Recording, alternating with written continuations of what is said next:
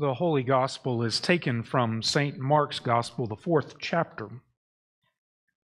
Jesus also said, This is what the kingdom of God is like. A man scatters seed on the ground night and day, whether he sleeps or gets up, the seed sprouts and grows, though he does not know how. All by itself, the soil produces grain first the stalk, then the head, then the full kernel in the head. As soon as the grain is ripe, he puts the sickle to it because the harvest has come. And again he said, What shall we say the kingdom of God is like, or what parable shall we use to describe it? It is like a mustard seed, which is the smallest of all seeds on the earth. Yet when it is planted, it grows and becomes the largest of all garden plants, with such big branches that the birds can perch in its shade. With many similar parables, Jesus spoke the word to them as much as they could understand. He did not say anything to them without using a parable, but when he was alone with his own disciples, he explained everything. Word of God, word of life, thanks be to God.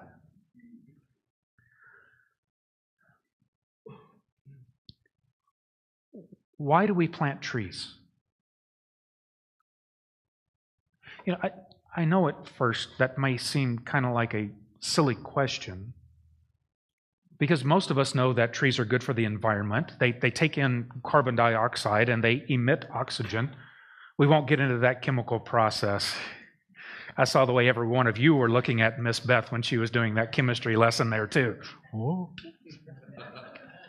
But this is an important thing to know, especially for those of us who need oxygen to live. Trees provide shade, relief from the sun. They provide us with paper, with wood for our houses, and for heating those houses. Trees are really important. But why do we plant them? I mean, think about it for just a moment. How long does it take for a tree to grow to maturity?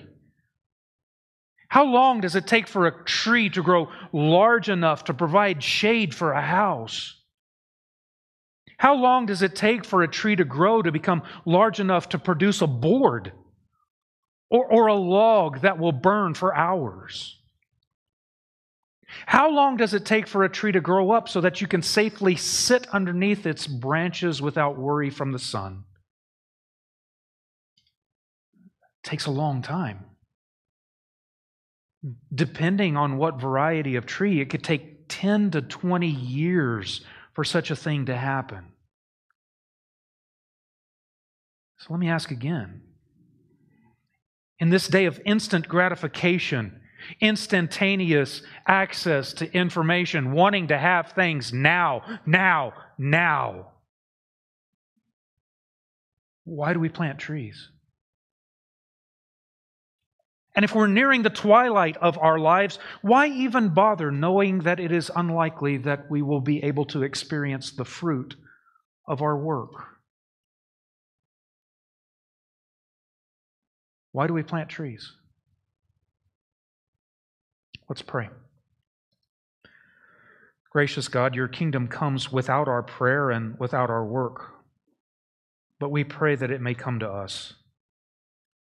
May we acknowledge you as King and as Lord, that our hearts may be changed and our eyes may be opened, that we may know, see, and participate in the growing of your kingdom. In Jesus' name we pray. Amen.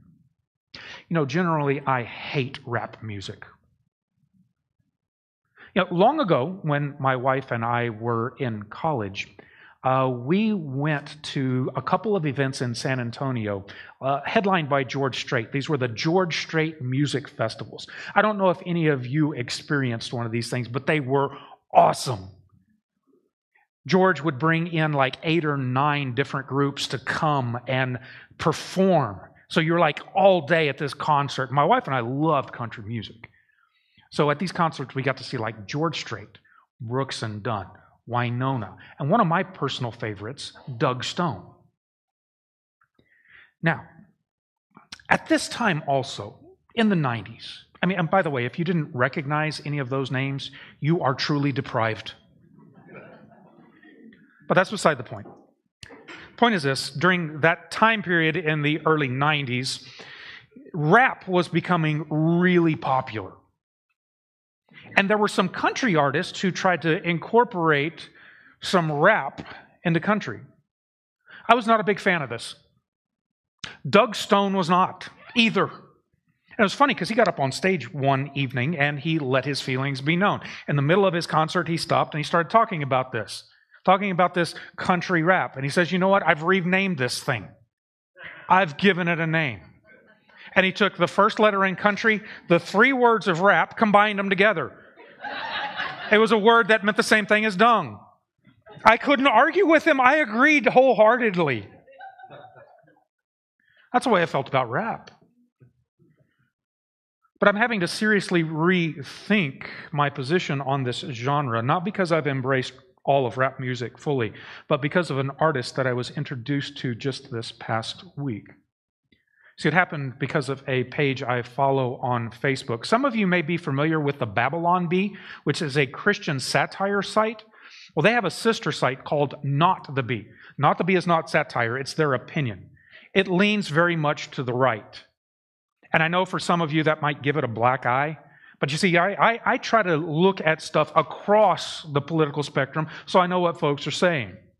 Now, in this particular article, Not the Bee was highlighting a rapper by the name of Tom MacDonald. Now, Tom is a rapper who sings on the right hand of the political spectrum, and he is not a fan of cancel culture, which is what the not the bee was talking about. For those of you who remember a sermon I preached several months ago, you'll know that I'm no fan of cancel culture either. So I was intrigued by what Not the Bee said, and I listened to some of the lyrics and the videos that were listed on there. And then the next morning, I came here to church and I Googled Tom MacDonald uh, on, on Facebook, I mean, on Facebook, on YouTube, and I saw a list of all of his videos. He's got a lot of music. There was one video that caught my attention. The name of the video was Church. So I listened to it. Man, whew hit me down here. Cut me to the core. It troubled me. Why? Because this song gave me some deep insight into folks who struggle with faith. They struggle with God. They struggle with what it means to be a Christian, particularly in light of addiction. And I want to quote to you this morning the last verse and the chorus of this particular song. It goes this way. I can't read, but the Bible's still with me. My eyes can't see from the bottles of whiskey. I don't believe anybody will miss me, and I'm on my knees. Tell me, God, are you listening? I pray on my way to the liquor store that they lock the door, because I'll lay in my grave if the whiskey pours like it did before. I'm scared. I send out a prayer. Can anybody hear me? Is anybody there? Because honestly, it hurts, and every day is worse. I keep buying whiskey when all I need is church. Now, there's a whole lot more to that song. And I confess that that song and music video opened my eyes to the struggle who is trying, trying desperately to deal with pain and frustration and hurt who knows that their behavior is destructive and wants a way out. They've heard about God, they've heard about the church, they've heard about prayer. They know they should do all those things, and they do them. They fall on their knees, they pray, they ask God to speak. And God is silent. So they're met with bewilderment. Even in engaging all of these things, they wonder does anybody care?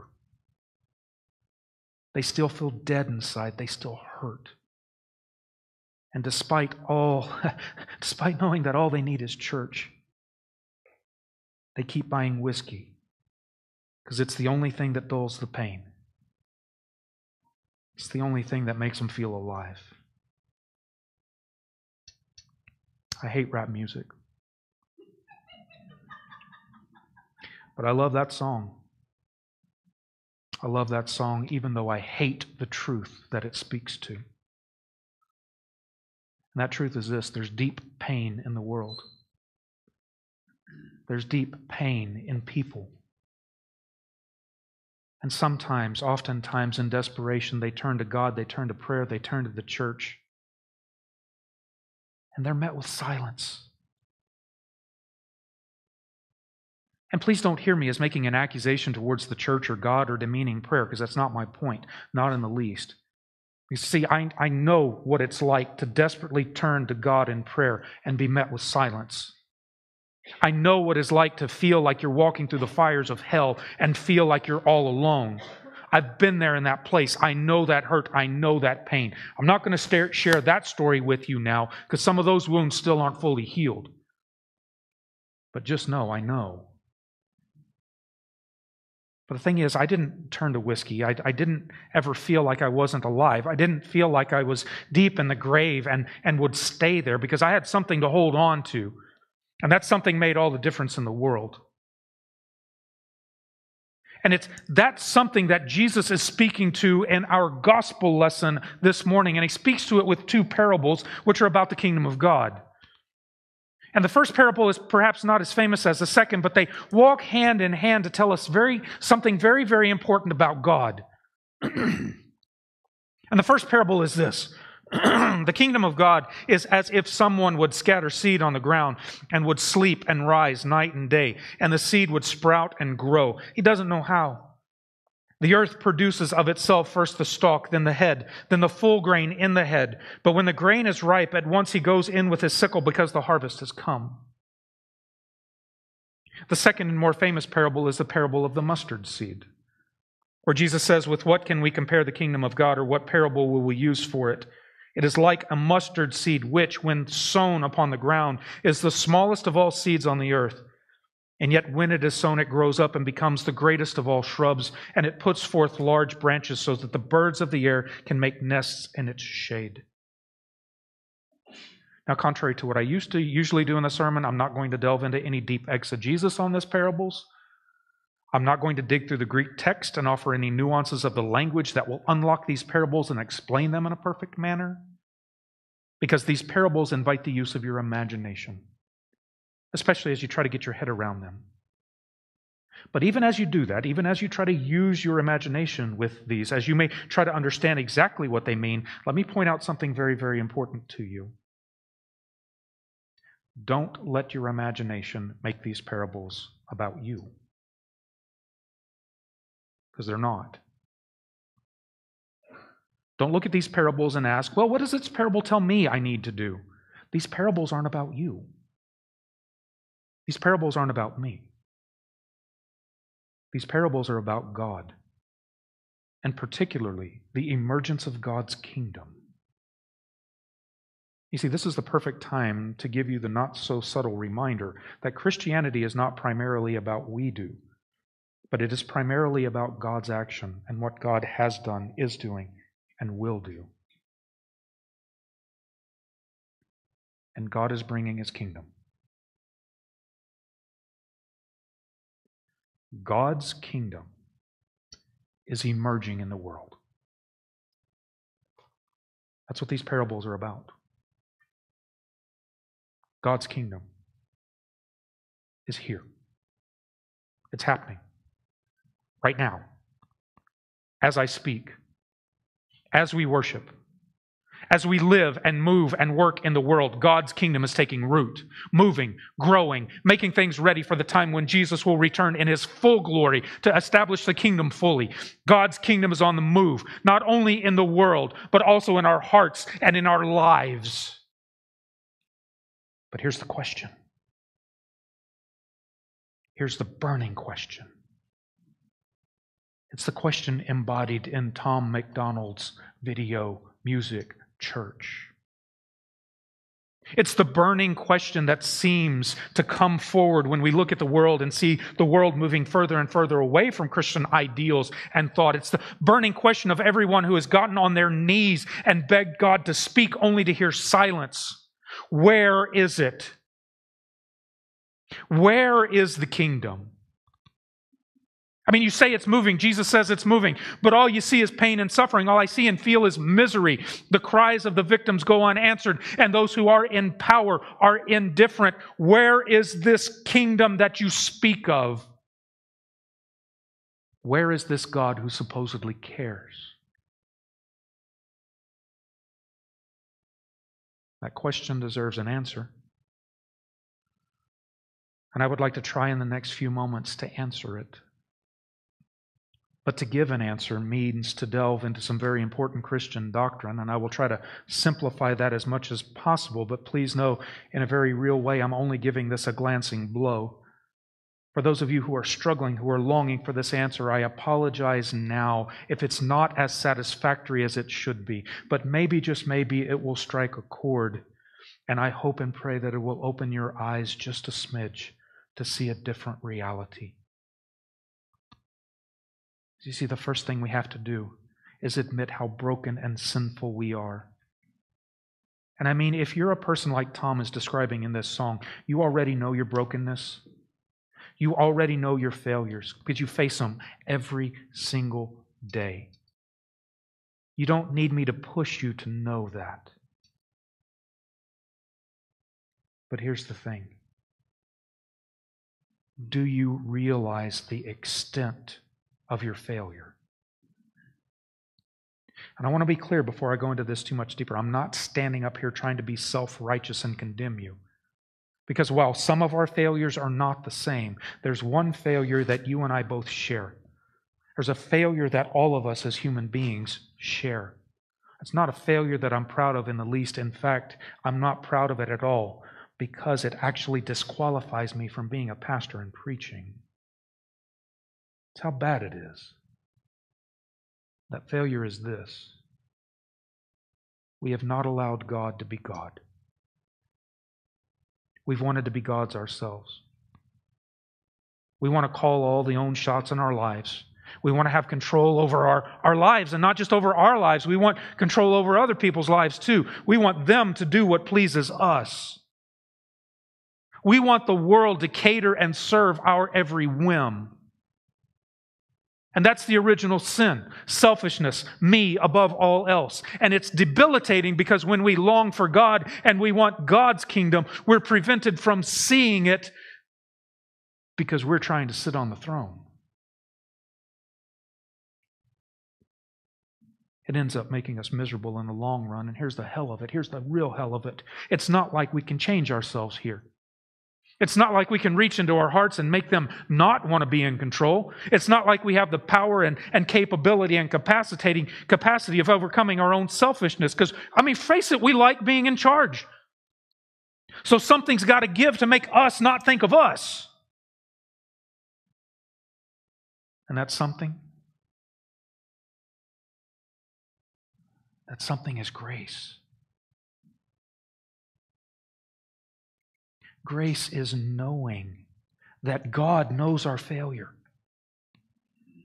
And, and God, knowing our failure and, and knowing our selfishness and knowing our rebelliousness and desire to overthrow Him and, and sit on His throne, it's Him knowing that we deserve punishment and death for this rebellion. It's Him taking on human flesh and then living the life that we were supposed to live and then dying the death that we deserve so He would pay for our failure It's God dying for us when we least deserved it, which is unleashing a love that we are almost incapable of understanding. It is that sacrificial love and dying for sinners that changes our hearts on the deepest level. Because when you get it, I mean, when you, when you get grace and you see what God has done on the cross, yeah, you know you're a failure but you also know that you are deeply loved.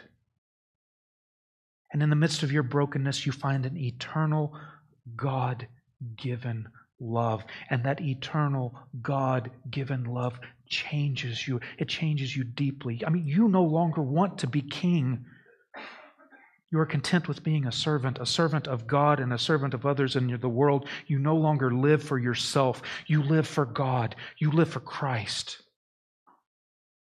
And when that, when that occurs, when you change and you start living for Christ, you focus on Jesus and you remember that Christ was crucified and he suffered. He went through immense pain and agony, but he was raised from the dead. And that raising from the dead, by the way, was the beginning of God's kingdom breaking in on the earth.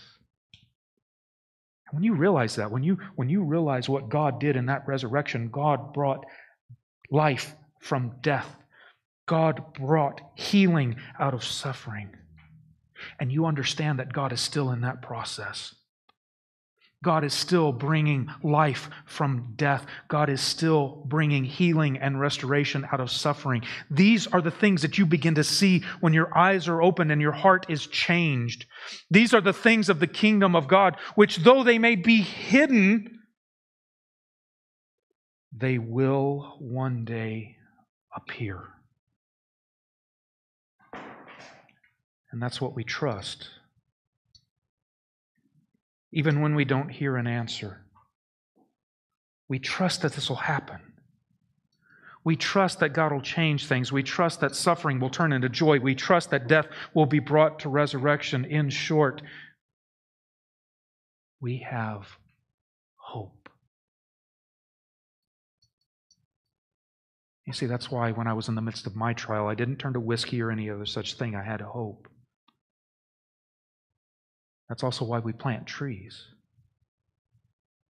We may never see that tree in the fullness of its growth, but we have hope that it's going to get there and that someone someday will experience it fully. That's that message of hope, is the one that God is bringing to us today. See, because of what God has done, we have hope in what God is doing and what God will do. We have hope that God is acting even when we cannot see. We have hope that God is working in our lives to transform and to redeem. We have hope that God's kingdom is coming to us right now. We have hope. My prayer today is that if you think God is quiet, if you're hurting and finding things worse, I pray that you'll find that hope. I pray that you will find grace. I pray that you will find Jesus. And then go plant a tree. Amen.